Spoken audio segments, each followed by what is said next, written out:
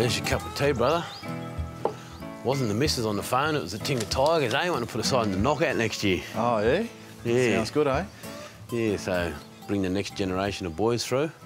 Nice. But talking about the next generation, T, I've some advice for the for the younger kids, you know, is you know um, about smoking. What, what age did you start smoking at?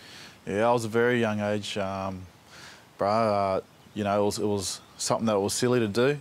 Um, it was something I regretted that I that I done. And, you know, for me, it was it was a hard habit to kick, and um, you know, I'm, I'm glad I did it now. What would you say now to like the young Aboriginal and Torres Strait Islander kids that are trying to quit smoking? Yeah, look, the first thing I'd tell them is that you know if you want to have a, a long life and a healthy lifestyle, you know, don't don't smoke.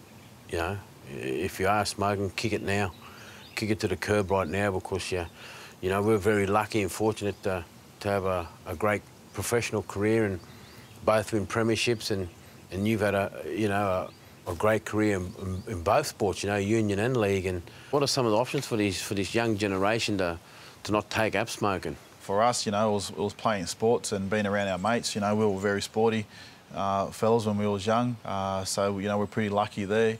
But uh, you know, for the kids that are out now, back, it may be just going for a ride on your bike, um, or it gets it gets hot some days, so you know go for a swim around the river. You know, back when you was playing for the Knights, did you see like a noticeable difference in your fitness and when you was training and when you was playing? Yeah, look, it took me it took me a good couple of months to really get back to to peak fitness and that, you know, and oh, I had the cravings there, you know, and and that's, that's when I knew I had a problem, you know. But after a while, I, I realised that my fitness was getting better, my breathing cycle was getting better, and mainly when I was doing the long runs or we were doing swimming and stuff.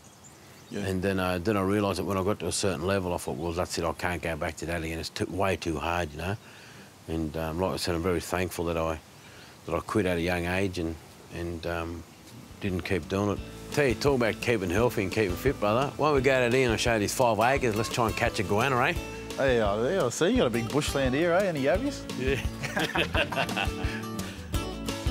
to help you quit smoking and stay quit for good, speak to one of our Quitline advisors on 13 7848 or visit icanquit.com.au.